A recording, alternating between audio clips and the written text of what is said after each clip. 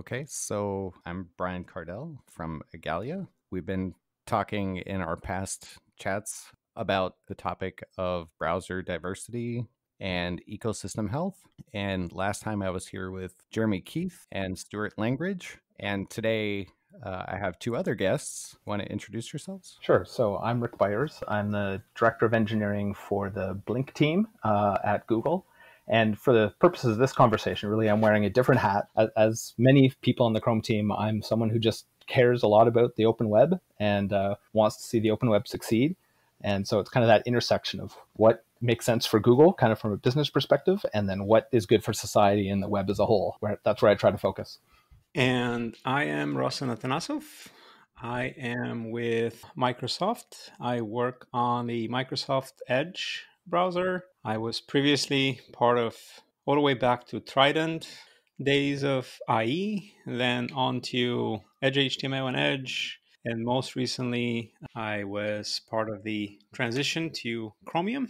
And similar to Rick, today I am um, wearing a different hat mostly again as a citizen of the web community and the community that really cares about the open web, pushes the open web forward.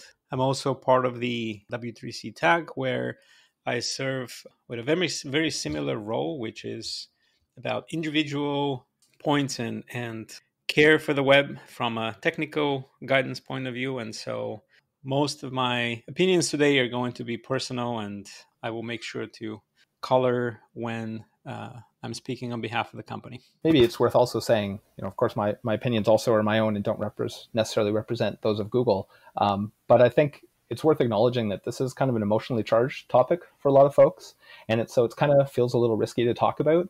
But I think, you know, Rossen, from the conversations we've had, I think you'd probably agree that this is too important of a topic for us, for those of us who are kind of deeply involved, to just be afraid to talk about it. And so I just want to apologize if I say anything that anyone finds insulting. You know, please let me know. Um, my intention is is obviously rational people might disagree on some of the, these topics, um, but I think it behooves us all to kind of talk openly and with humility and try to understand each other. I think that's well said. So the the topic, just to introduce, really, I I wrote this post that was talking about how we frequently talk about browser diversity, really rendering engine diversity, and the importance of it.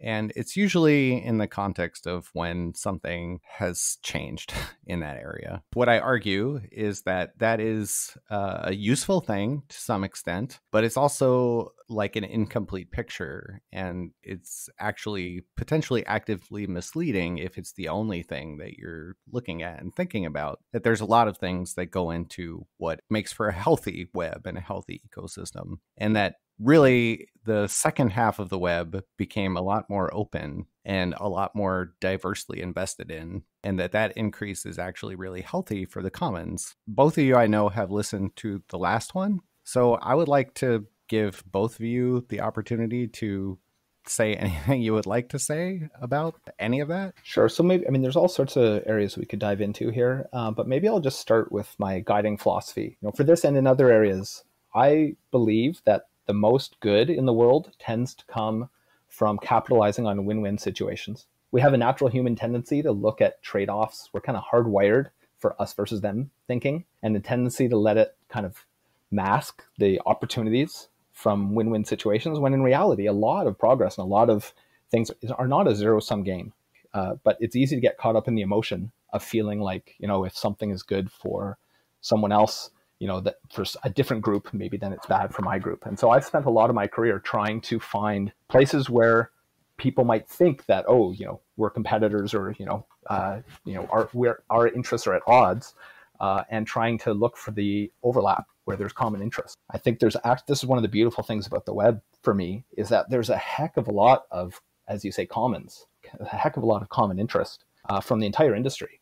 And just because something is good for Google doesn't mean it's bad for Microsoft or bad for Mozilla or something like that. And so I, I spend my time trying to find the things that are good for the industry as a whole, good for society as a whole, and also good for Google's business. I'm somewhat like minded with Rick here. I definitely sympathize with the win win situation and philosophy.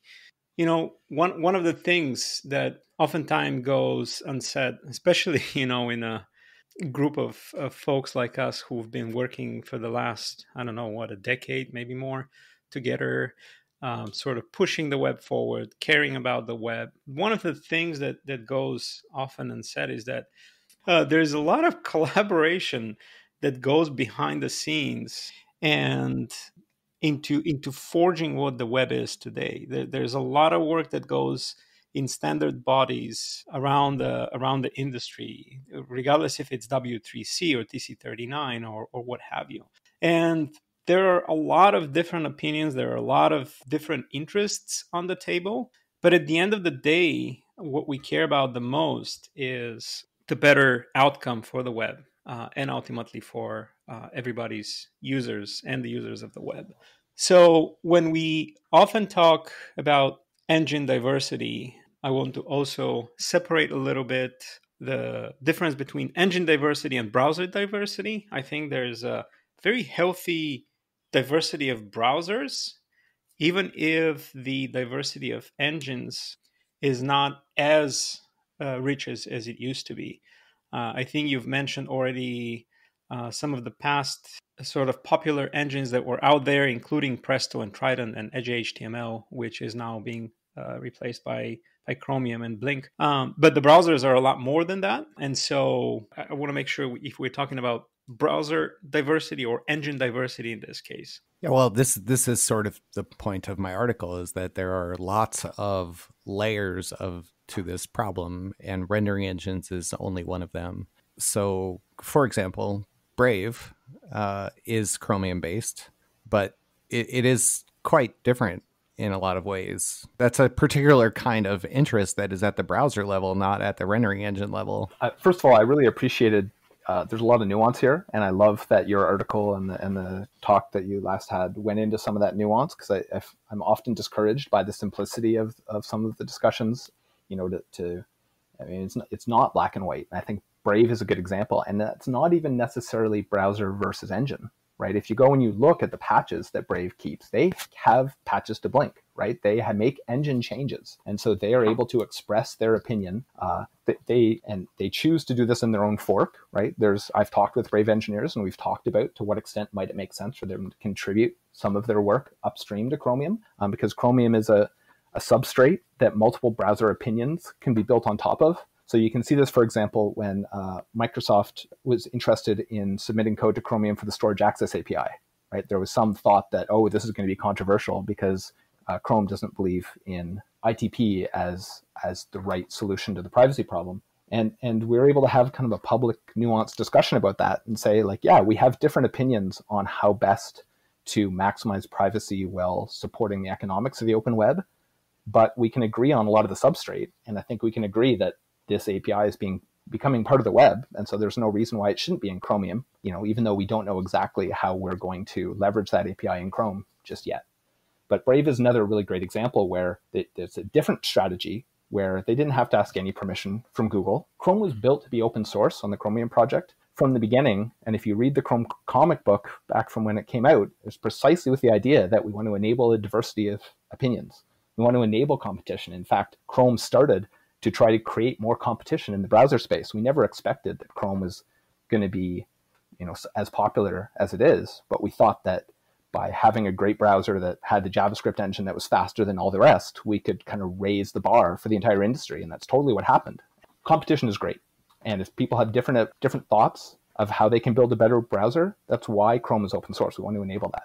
Plus one you know being on on on the other side of of chrome in terms of competition for many years i have to say that we do push each other quite uh, a bit through various various approaches that, that are being taken whether it's performance whether it's standards compliance security etc i vividly recall when when v8 was started and and the chrome folks started pushing perf really really hard. Uh, at the time we were implementing uh, a new layout engine that was essentially built for future proofing our investments into a lot of areas that we felt the uh, existing engine was lacking, and, and we wanted to push the, the web forward so that we can have a platform that is a lot more friendlier to sort of the heavier demands of the richer digital publishing, such as really rich, adaptable magazine like layouts or newspaper like layouts.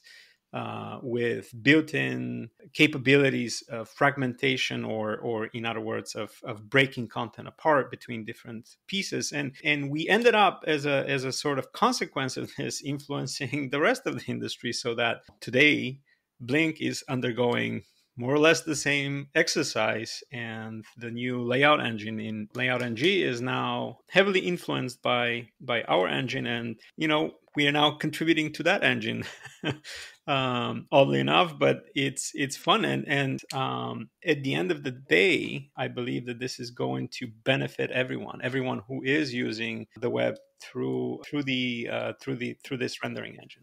That's a great example, Ross, and thanks. Uh, I remember some of those CSS working group meetings where people were proposing kind of you know new additions, Houdini and whatnot, and you would say, "Oh yeah, that's easy for us. We could implement that easily." And our layout engineers would say, "Oh, this is going to be years of work to implement this," and we were so jealous. And this is the kind of like this is a, a diversity of architectures that I think is one of the elements of diversity that's worth talking about because it's one of the things we risk losing with a common code base, even if we have different browsers on top. I've heard people talk about the, the risk of all if all browsers or if there's only a couple different ways of building engines, you know, if, if we make the barrier to having a different architecture of engine higher, then it might impede the, the ability to kind of innovate and explore different solution spaces there. So I don't know. Do you, how do you think about that? Do you feel like, like imagine that Edge and Chrome were all, both on Chromium, and and one of us wanted to undertake a, a radical rearchitecture of layout, and the other one didn't.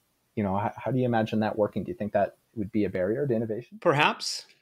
Where I would essentially take this is to try and reflect on what that means for the end web developer who is going to essentially take advantage of uh, of the platform because look at the end of the day, the platform that, that we build is is nothing without the innovation that happens on the web itself through you know the the skillful minds and, and hands of, of web designers and developers. So to the extent where we enable creativity and, and ingenuity for the web, I think that that is essentially the the, the important uh, the pedestal that we should we should definitely keep. With efforts such as Houdini, uh, which you which you mentioned, the CSS Houdini effort, where we've been slowly marching down the path of enabling more and more capabilities in the hands of web developers through JavaScript and CSS, so that they can go and extend the engine on their own.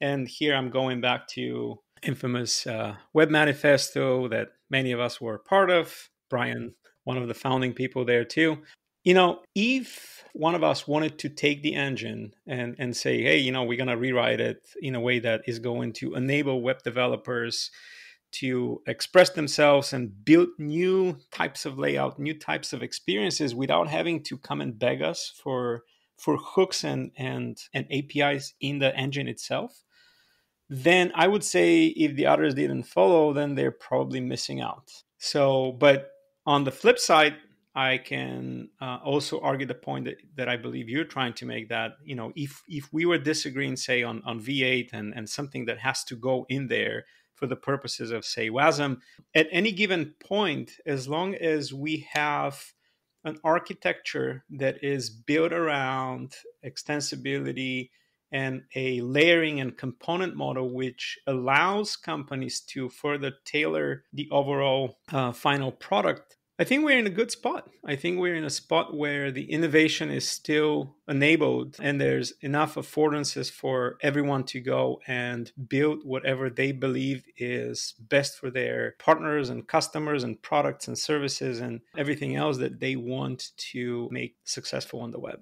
I think it's also worth noting that, that this question of how do you enable innovation and exploration, it's so simple to think of it as you know, well, Google has a set of ideas and Microsoft has another set, but I'm sure it's probably the same for your team as it is for mine in that we don't always know among ourselves. It's not like, you know, it's not like I, as the director of Blink, have the answers of what the code architecture should be. And so some of this kind of competition and enabling innovation is something that is important to us even within our own team. And sometimes it's it's tough to figure out how to to handle. One, one example that I really like is when uh, years ago there was a group of folks in the Chromium project. Uh, there was an interest to introduce garbage collection to the C++ code base to solve some of the problems of having a garbage collected JavaScript heap where you've got manually managed memory for DOM objects. And there was a prototype built and you know we couldn't agree. And i was one of the people that said you know i think this isn't going to be worth it. It sounds cool. I hate manually ma- managed languages. I think it's ridiculous that security critical software is being written in languages that can have uh, dangling pointers. But nonetheless, the cost benefit trade off to me, it seemed risky. It seemed hard to do. So I probably was opposed to the Oilpan project. But there was a group of folks who were passionate about it and they went out and they worked on a branch and they built a prototype and they measured and they got feedback and they listened to what were people's concerns. And I think it took, you know, we could go back and find the docs. It was probably a like six to 12 month process or something of iterating and, and working on the prototype on a branch before finally they had the data that people like me could say, oh, you're right. I was wrong this looks real and it looks worth it. And in particular, the performance hit is not anywhere near as bad as we thought it was going to be. In fact, it's a win in many situations. Your judgment was right, ours was wrong. Uh, let's now make that the main line. And I can totally see, you know, that was within a single company, and I've I would imagine to see that kind of pattern repeat, regardless of you know, what company the people with different opinions work for. So part of my premise in this has been that uh, once upon a time, when we had Internet Explorer, and Netscape, those were sort of evolutionary dead ends because there was no option but those architectures. So if you wanted an architecture, somebody needed to create it from the ground up. But really, since then, every successful engine has been gained through evolution. And it's interesting when you talk about the Chrome split uh, because th- that that is a really interesting precedent in history that I think is relevant to another thing that I wanted to talk about, which hasn't gotten talked about a lot, which is uh, if you recall that time in history, the web was, um, the W3C was sort of going in another direction. HTML was sort of done. When the WHATWG was created, a lot of us, including myself, saw that and thought, well, yeah, but look at who's supporting it. It's like Apple and Google, and like these companies don't have a web browser. So uh, that's going to be really hard. But then Apple got together and created WebKit. But it was a lot of interest in WebKit at the time. That was really, really powerful. Uh, many people contributing, many organizations contributing for various reasons. Uh, I know like Adobe contributed a lot to WebKit, Google contributed to WebKit, Igalia contributes to WebKit. We had like 11% of all of the commits last year. Sony contributes to WebKit. And so that's really, really healthy. Also, it it demonstrates that coordination between many organizations can be a really powerful tool and that so when there become disagreements about where we want to take things or if we feel that we can add to the diversity the architecture doesn't match where we want to take the web we, we can fork it. That also plays into rick's comments earlier about downstream. Like there are a lot of downstream forks of Chromium and WebKit. Some of those wind up coming back, but we enable all of these downstream things as well. But one of the questions that I have here that I think is really interesting to think about is how, like how could we get another engine? We have a lot of others out there. They're not a browser rendering engine but they are rendering engines of some kind that are used for ebooks or print or something for your tablet. And some of those are maintained by really powerful companies with money even. Uh, so I, think it is very possible that we could see another um, confluence of companies that could come in and bring us more diversity um, through either contributing to uh, existing engine or forking and creating their own. What, what do you all think? The most likely way that we're going to have another engine, in my opinion, is if the current maintainers of Chromium do a poor job of being good open source stewards and the other contributors to Chromium decide that they could do better on their own and you know fork Chromium to you know you could imagine a soft fork that stays upstream but maintains some patches, uh, or you could imagine a hard fork where maybe if there's enough interest from enough different companies, and th- this is this is ultimately what keeps people in an open source project honest, right? In terms of, you know, it, it there's a lot of reasons why it's in Google's business interest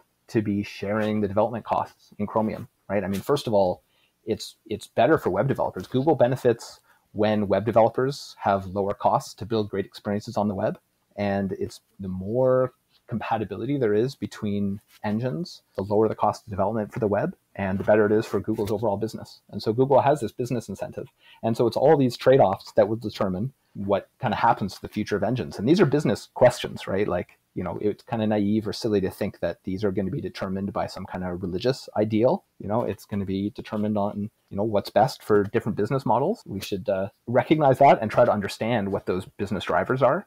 You don't need some artificial uh, incentive. Ross and I have talked openly about this, right? That at some point it might make business sense for Google and Microsoft to go their separate ways, right? And I don't think that's something that needs to be a, a taboo topic or a, you know, oh, we hate you now kind of thing. Oh, absolutely. I mean, forking is always an option for anyone, right? I can I can see Google going into a non-compete and you know essentially saying, you know, from from tomorrow we're we're going to stop contributing to Chromium upstream and essentially we have our own private fork now we can do the same thing. Uh, Igalia can do the same thing. You, you, you guys can fork Chromium tomorrow, and as far as I understand, you have enough engineering systems and infrastructure to support your own builds and test infrastructure and everything that takes to you know make engineering of such a, a product a reality.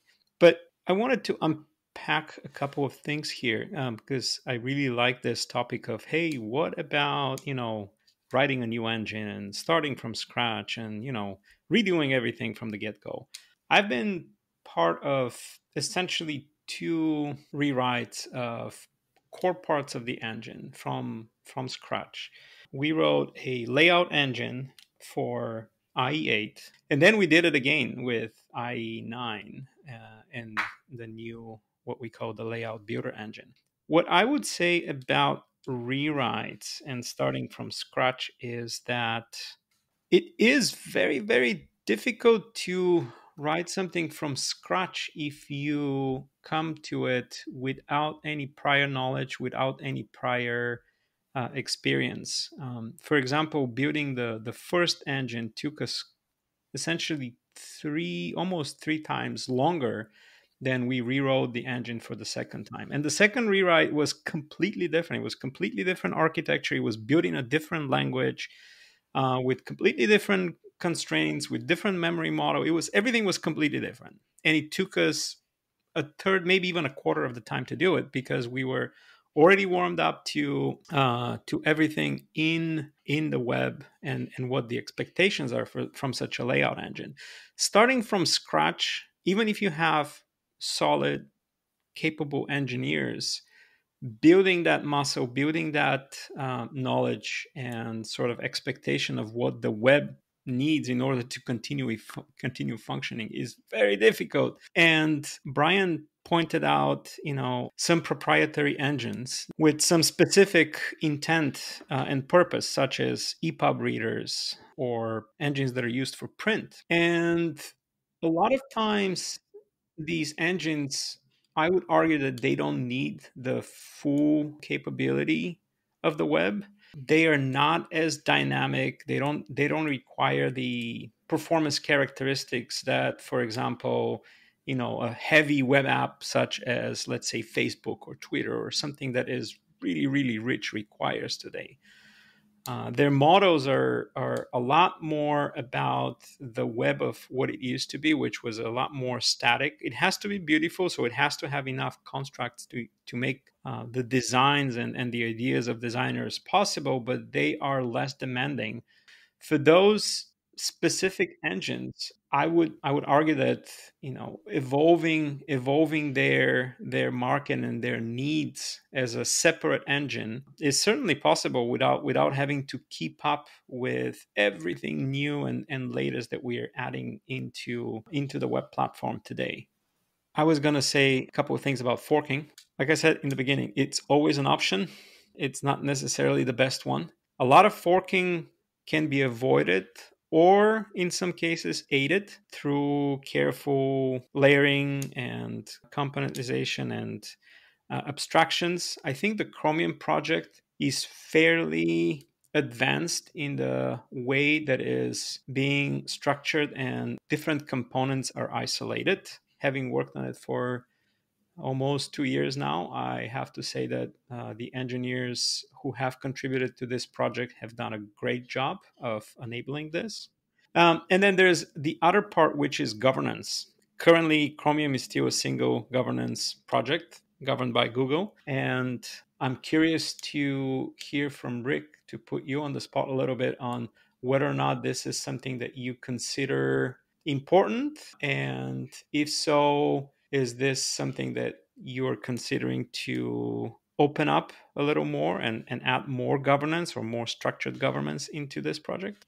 So that's definitely a good topic. Um, you know, obviously it is a controversial one and not one that I am in a position to speak on behalf of Google around. But I will say, from my personal perspective, one thing that is first, this is what I was alluding to before, and that I think governance, to some sense, is secondary to the to what extent are uh, people's business goals being met in collaboration. And so, one of those things is to what extent is Google getting value out of the contributions of others?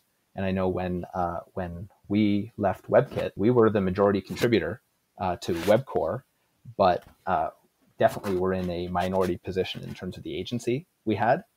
And so, you know, at the moment, Google is still by far the majority investor in Chromium, but I personally would love to see that change. I would love to see, you know, Microsoft, you know, Microsoft is definitely doing more and more. Igalia is doing more and more. You know, I'd love to see more and more companies hiring Igalia, helping share the load of the maintenance burden of keeping keeping things running and dealing with the bugs and, and all that sort of thing. And I think, you know, my personal opinion is that agencies should follow investment level. And at the moment, given I think it's something like 90% of the commits in Chromium are from Google employees, I don't think the current model is necessarily wrong or broken. Um, it's not quite fair to say that it is governed entirely by Google right? It's a complicated model. There are owners files and owners can approve a set of changes on their own. And there's quite a large number of, of non-Google owners across the product, uh, including uh, in the rendering engine with folks from Igalia and Microsoft able to make decisions about landing patches without anyone from Google having to weigh in. We also have the API owners model for deciding what APIs are shipped in Chromium. And at the moment, there are two uh, non-Google API owners there's someone formerly from Opera and someone from Igalia. And that's also something I would imagine the owner's model is intended, both code owners in the platform pieces of Chromium and the API owners models are intended to be meritocracies, right? As people demonstrate they can uphold the values of the project. There's a process for adding people that is independent of what company they're from.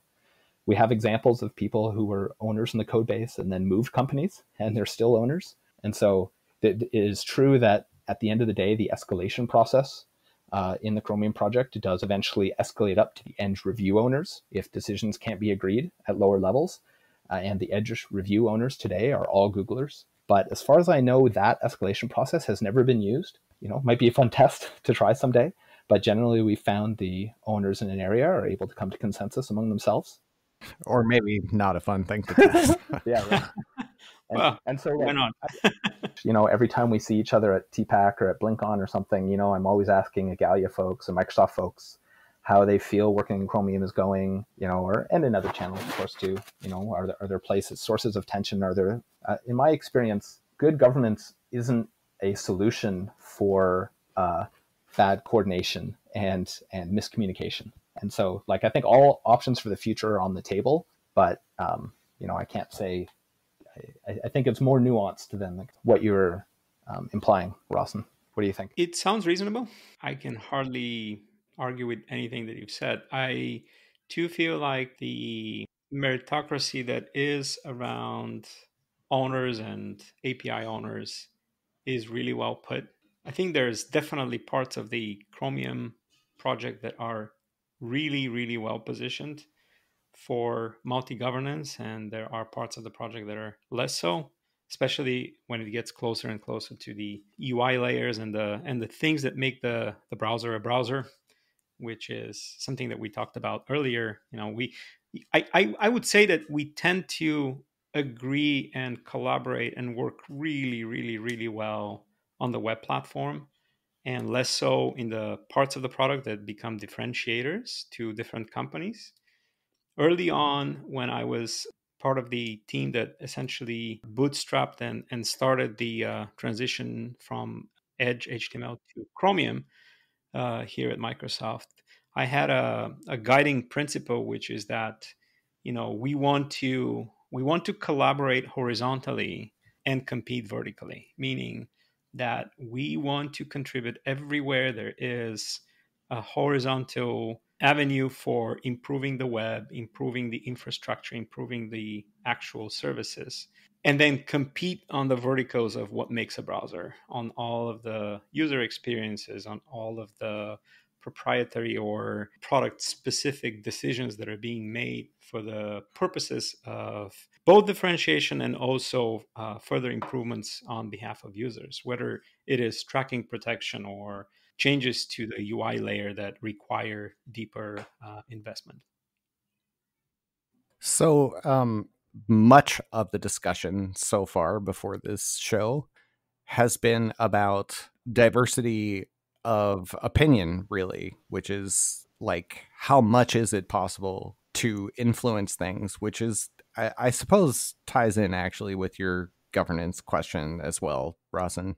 Uh, I know on Twitter and in social media, this is portrayed very frequently as very one dimensional and there aren't like there's a lot of speculation about what goes into the politics and business of things that is not always like grounded in reality. Like a lot of things are not as controversial as you imagine that they are. They're more very practical business reasons frequently like we can't do x because we're already doing y and that's necessary to do that first or we just can't spare the cycles or whatever so i'm just wondering like do you have any thoughts on that. I guess for me, really, this feels like diversity of opinion, which I was unable to bring out in the last show. I, I made a comment about it, but it, it wasn't easily understood. And so we just moved on.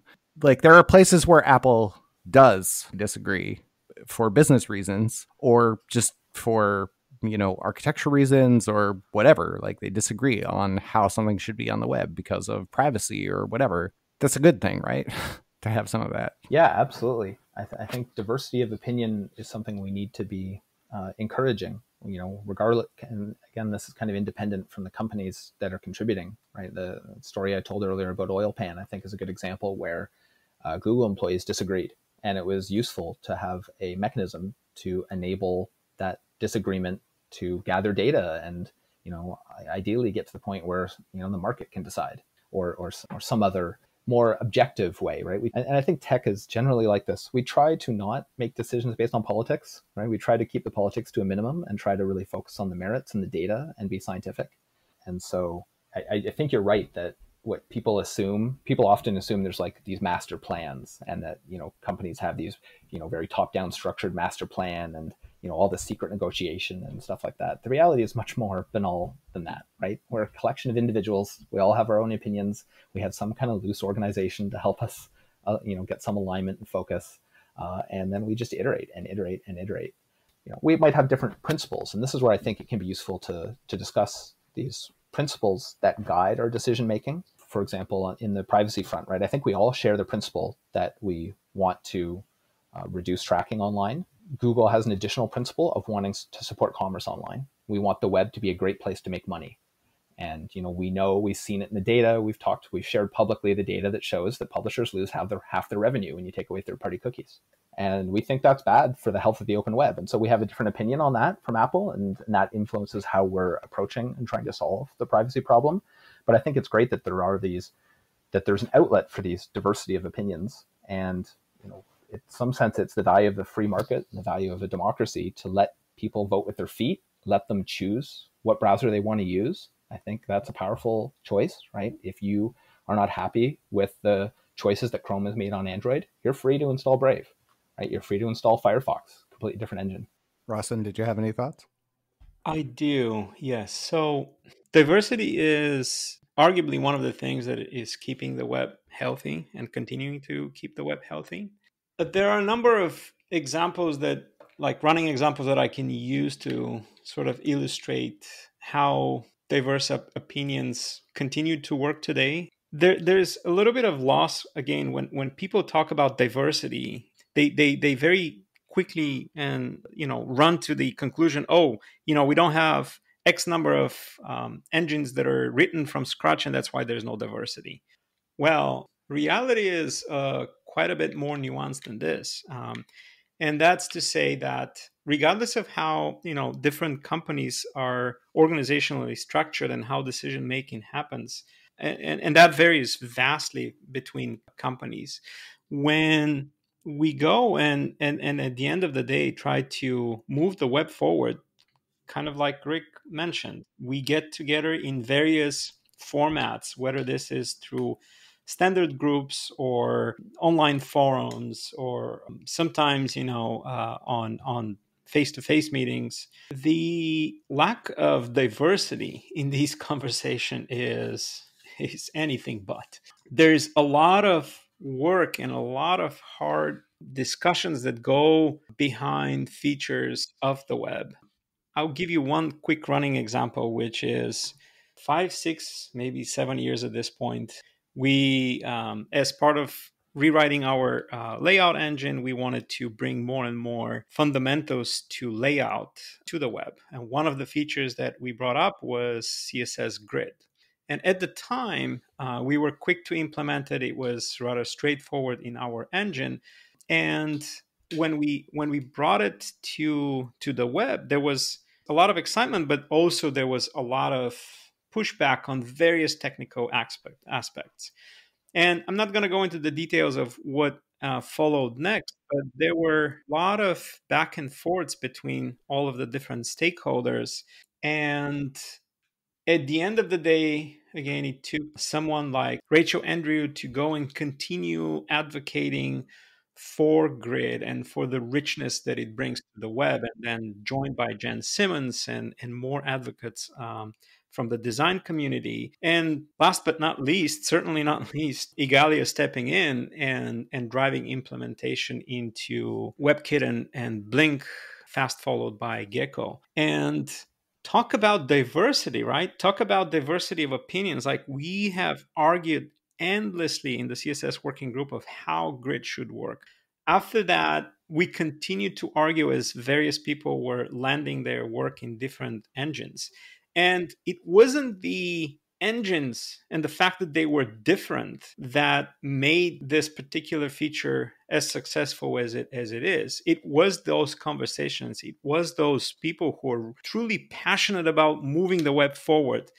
Uh, and yes they represent different companies. These different companies have business goals and a lot of times people will channel and have to channel business goals in conversations but it was this community it was this diverse set of people and opinions and desires and, and passions for the web that that that are bringing these these types of features um, to the web. I think I think that's a really good point, and this this is something I was a little disappointed that you didn't touch on more in, in your last talk, Brian. Is, is there was some conversation I forget who said it, but you know, a question of oh well, what can we do about this? You know, how can we support diversity? You know, and you know, there's a few obvious examples that are answers that weren't touched on, I think, which is, um, you know, first of all, people can get involved in the standards process. People can get involved in these debates. We need increasingly, I think all the engines are doing a better job of listening to developers.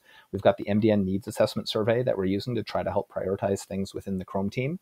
Um, but there's also room for other people to get directly involved either in standards debates or open source projects.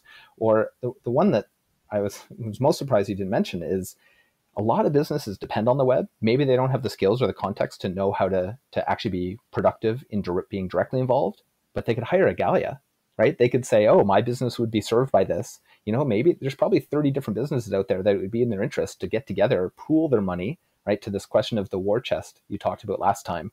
Yeah, okay, you know, our, Google has a bunch of cash in the bank, but our resources for investing in the web are not at all limitless, right? It's actually fairly finite where the resources between all of the different companies in the world that benefit from the web are massively greater. And if even a fraction of that was going towards uh, to pay for things that benefit the commons, right? Uh, if you know the way grid was developed, or um, you know, whether it's Igalia or other companies like Igalia, I think that would greatly increase the diversity, increase the diversity of investment is maybe another way of looking at this. You know, to me, it's a shame that the diversity of investment, the number of companies who are willing to actually put their money into making the web a better platform for everyone who benefits from it is quite small. And I think that's just an artifact. The barrier to entry used to be so high that only the biggest companies could be involved in the browser market.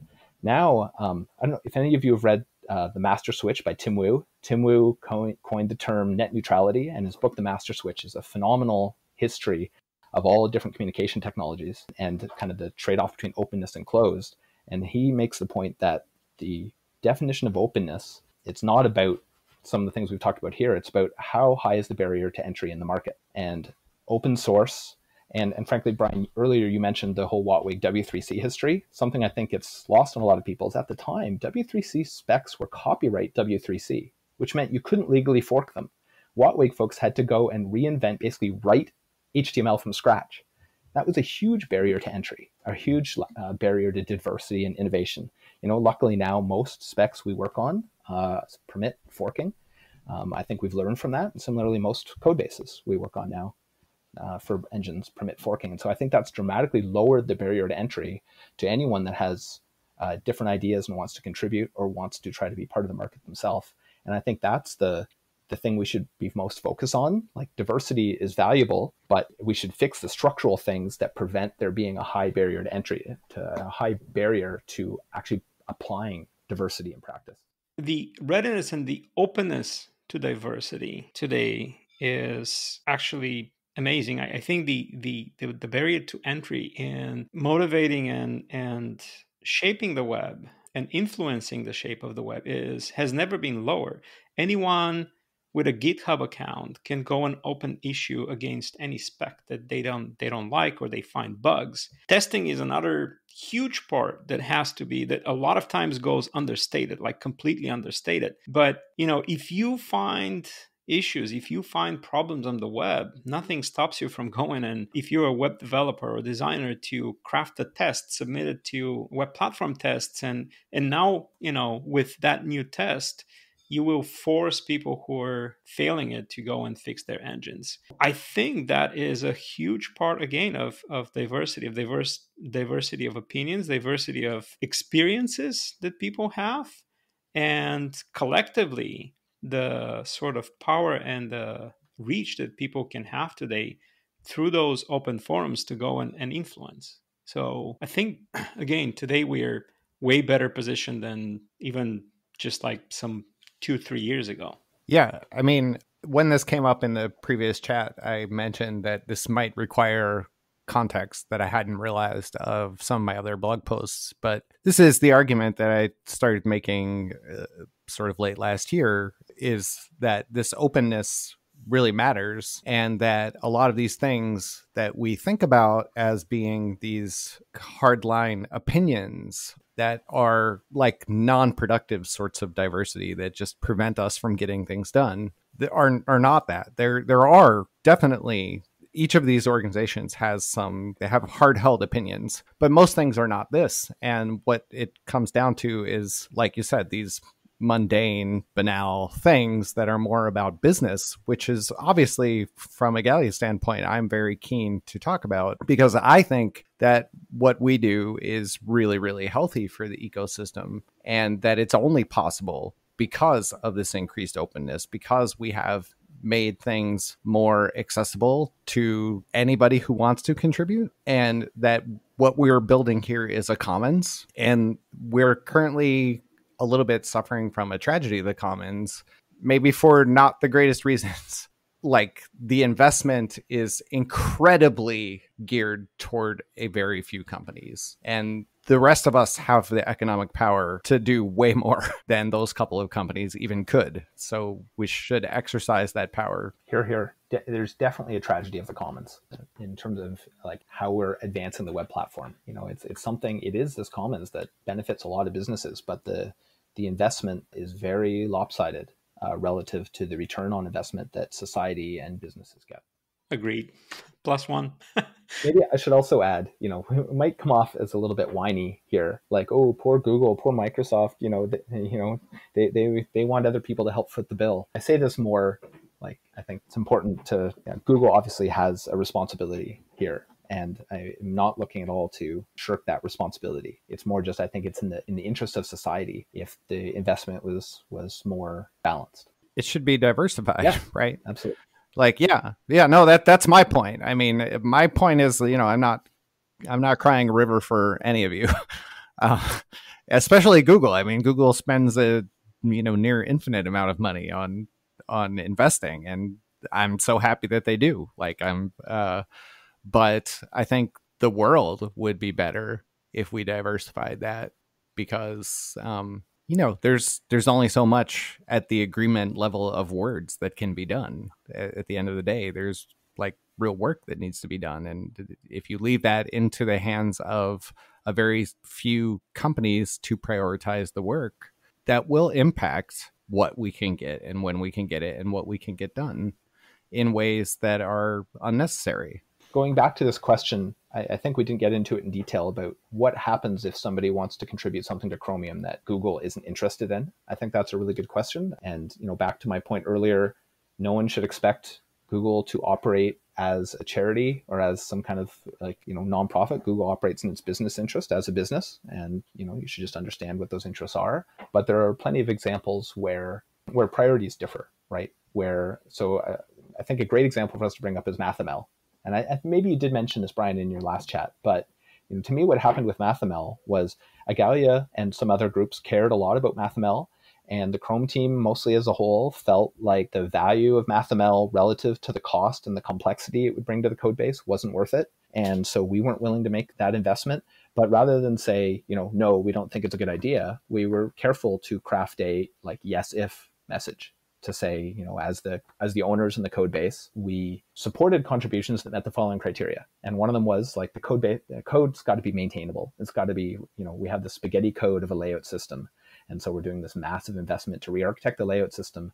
And so if MathML can be built in a way that's modular, then that dramatically reduces the costs and the concerns around maintenance burden. And then secondly, there was the question of can we actually make something that's interoperable here? At the time, the MathML spec was very hand wavy. You know, the test suite was not very rigorous. And so we just pointed at the guidelines we already had for what bar do we apply when deciding whether something is mature enough to ship. And frankly, we were worried that Igalia was underestimating how much work it was going to take to get some subset of MathML to the place that it actually met that bar. And we, we were worried that people would have, you know, some different expectations that, you know, maybe if they could do a little bit of work, they could get to that bar and they would be disappointed when it came to an intent to ship. And so we tried to spell out very clearly where we saw the risks with trying to meet that high bar that we have for interoperability. And now the consensus is pretty clear that Igalia really stepped up, right? We were clear on what it would take to ship uh, MathML, and Igalia did the hard, thankless work with Google employees reviewing many of the, the CLs, but Igalia did a lot of work to meet that bar. And I think, you know, I think the jury is still out on, I don't, I don't know what the current timeframes are looking like, but I fully expect MathML to ship at some point, and it'll ship in Chrome at the same time, even though from Google's business perspective, it probably wouldn't have been a good return on investment for us to do it. But I'm thrilled that Igalia was able to do it, even though our judgment would have been not worth it. Yeah, I'm I'm thrilled too. Um, so a couple of quick notes on that. So it is shaping up really nice. I'll share some of that stuff pretty soon. And also worth noting, our tag review completed today, which is great. I'm looking forward to it. Look, I, I'm a huge supporter of having a, a native math into into the engines mathml and having the ability to at the end of the day increase the edu market which will benefit the most out of it especially you know having been through one full semester of having uh, a middle school student at home and having her uh, do all of her work through online tools having better edu support will go a long way. So thank you on behalf of all of the students future students that will benefit from it. Our explainer and our opening for tag we argued that this is uh, really toward the tag's ethical web principles that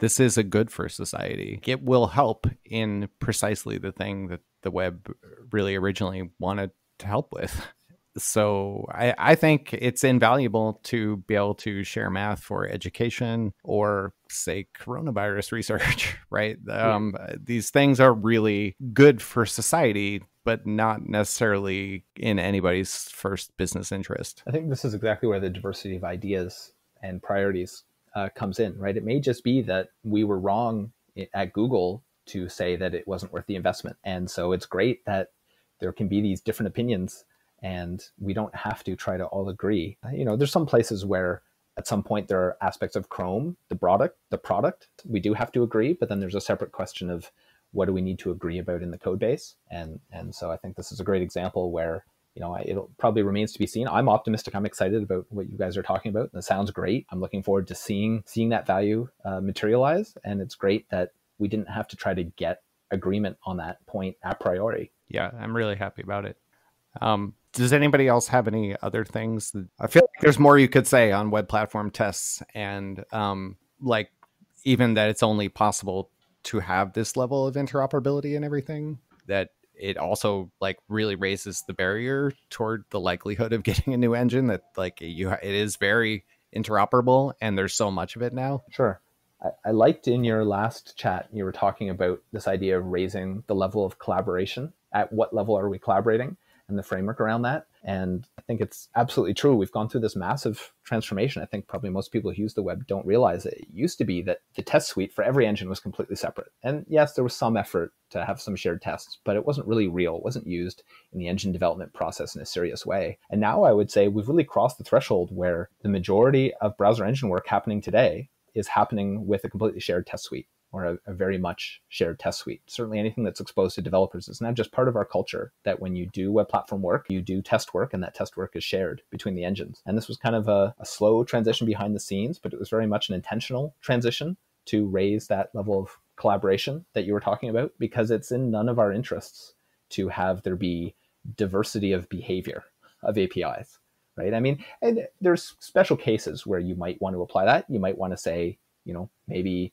exactly how request storage access behaves. Maybe we do have differences of opinion of how that behaves, but the default should be that behavior is consistent, and we should have to make an active choice to have difference behavior. Instead of the de facto what we had before was the default was you had very different behavior and you had to exercise this kind of superhuman diligence to transcribing the spec into code and comparing precise behavior details of browsers. And in practice we were just terrible at it yeah, it's a it's a little bit of a catch twenty two anyway if you don't specify it because you wind up with similarities and they wind up being de facto similarities that are unwritten down, which is worse. Mm-hmm. You don't hear people lamenting the loss of diversity there you know oh there used to be this, this, wonderful diversity of implementation behavior. I couldn't i couldn't agree more on this one. I mean having having gone again through a number of rewrites man if we had the amount of tests public that were contributed and, and are available today oh my goodness it would have been so easy to stand up a new engine and, and validate that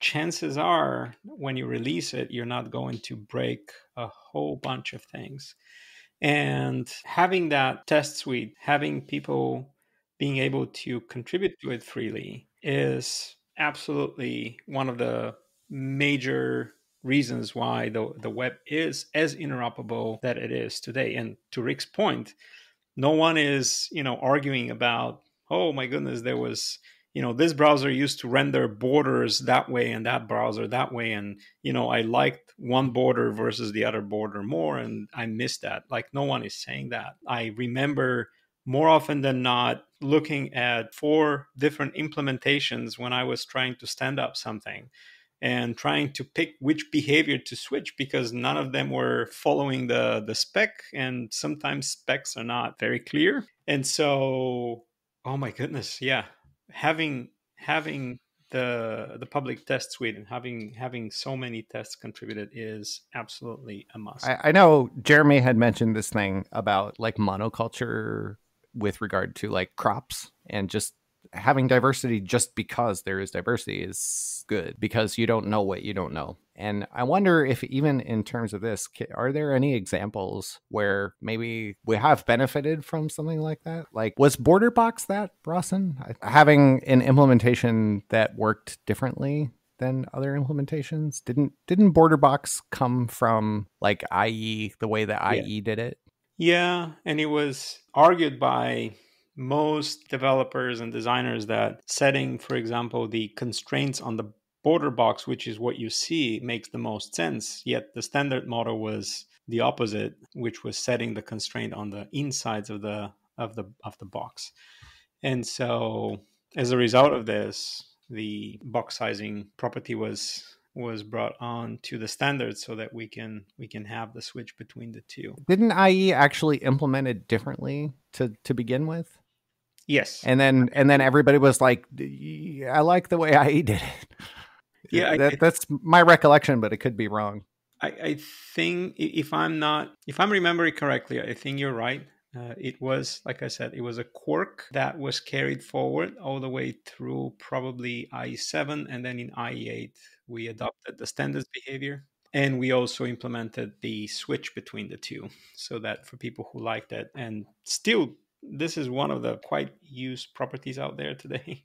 Um, oddly enough, it simply makes sense visually, so people prefer it. There are a number of, of examples where there were differences of implementations, and over time, those that are so much remarkably better than the others prevail, and and and others tend to tend to follow with their implementation anyway. I think we just tightened the loop today, the feedback loop.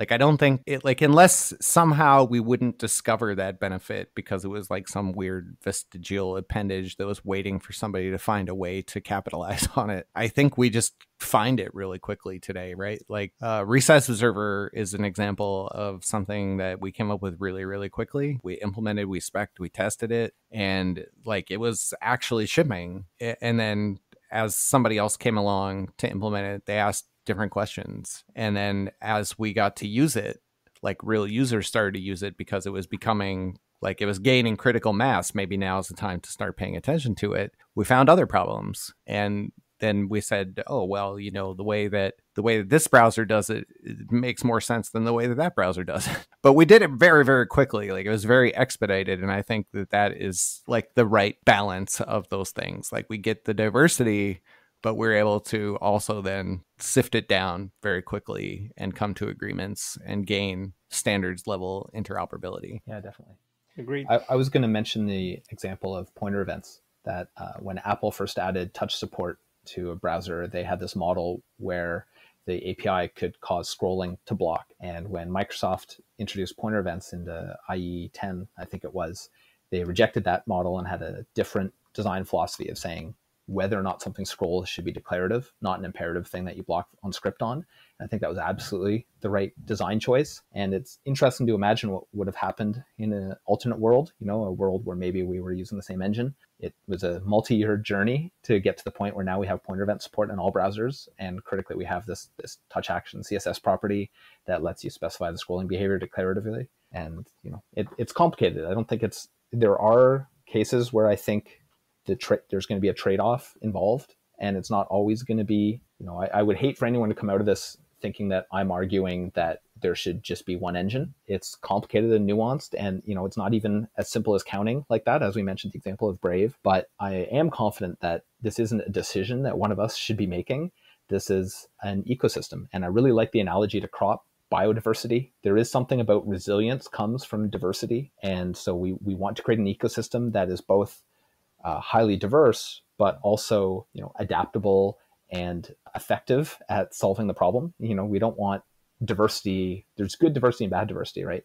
Diversity that just decreases the effectiveness of the solution, right? Whether it's organisms, right? Having a whole lot of organisms that are not as effective at survival is not something that you know would be selected for in a in in crops. So we so you know it's it's a complex dynamic system, and I think the best we can do is make sure that we're setting up the conditions such that it can evolve and the system can adapt and best, you know, be best suited to meet the needs of its constituents. Yeah, absolutely. Rossen, any closing thoughts? Yeah, I would also agree that engine diversity doesn't necessarily equate into diversity of opinions, diversity of what is best for the web and what is worse for the web. The ability to continue evolving the web through open forums, standards, uh, open discussions, agreements, and disagreements is, in my opinion, what continues and should continue to push the web forward. I, I value that type of diversity a lot. We touched upon a little bit uh, earlier in our discussion about the f- part of forking and multiple multiple examples of forking. Forking is always on the table for any company. And if there are times where that makes the most sense from either business or other points of view I can see any company walking away with their fork and continuing to invest into to that con- particular branch. And would that be better for the web or not is to be seen. There have been forks that have been very, very, very ineffective. Just the fact that they're yet another engine doesn't mean that they're bringing anything better to the web. At the same time, I would strongly encourage and hope that people will go and try new engines and try to bring completely new points of view to the web. That would be fantastic to see. That's well said. Awesome. All right. I guess we're about out of time. So I just wanted to thank both of you for joining me. And if you have any final thoughts, I, I just wanted to say that one thing I'd encourage people to take away from this is this is an important conversation, and we can do better than just having flame wars on Twitter you know, I think I encourage folks to get to know the people you're talking with as people, um, try to be respectful and constructive and assume good intent. I, I, know this is hard to do. We're hardwired for, for all sorts of things that work against this goal. And so maybe, you know, maybe Twitter isn't always the best forum for some of these discussions. So thank you, Brian, for, for having the, for supporting this uh, additional form. I think we're going to need a lot of additional forms. You know, we need to remember that we have a lot more in common and a lot more common interests than we have differences for all of us that benefit from the web and contribute to the web. And so I just want to encourage folks to try to put the majority of your energy into capitalizing on those common interests that we share. And then, you know, that is what helps build trust and a spirit of collaboration and respect for each other. And uh, and then on top of that, gives us a good, a great foundation to debate openly and honestly about the places where we disagree and do that in a way that is you know can ultimately help us all get better and correct our mistake our mistakes and our biases over time rather than just dividing us and pitting us against each other. Yeah i also wanted to thank you brian for allowing this additional forum getting into the echo chambers of twitter and just repeating the same over and over is not going to probably help things in the long run. Repeating what's you believe is wrong, what you believe is wrong, and just continuing to echo your frustration is always going to be less effective than uh, if you go and try to do something about it. As we've already talked about, there are many, many, many different ways of being part of the solution rather than just, if you believe there is a problem, of course, to being part of the solution rather than just continuing to point fingers and and and get into uh, flame wars add your opinion to specifications, add your opinion to bugs, add your opinion to um, various places where technical uh, or strategic discussions take place. Add tests. If you're an engineer, add patches, land work, fix things, be part of the solution, be part of what continues to propel us forward. You know, we, unless this is not clear, uh, coming clearly, I'm going to spell it and say that we love the web. Like I love the web. I want the web to win. I, I am, I've been pulling for, for this platform for most of my professional career. And I love it when I see people who are part of the solution. I, love when people point what is wrong and, and try to help us get to a better place for all of us. So I would strongly encourage you to please, please be part of the solution uh, and help us get to a better place. Awesome. Thanks, both of you.